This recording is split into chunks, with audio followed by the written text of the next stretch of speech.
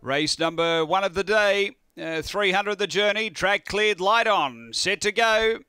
We're ready.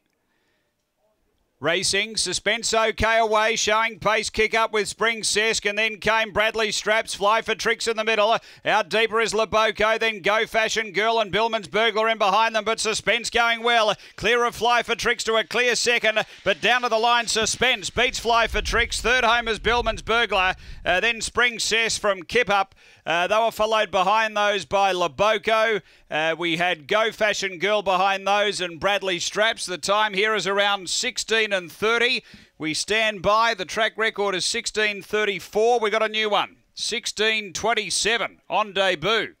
Track record, suspense. Number one. Getting the prize here. Suspense.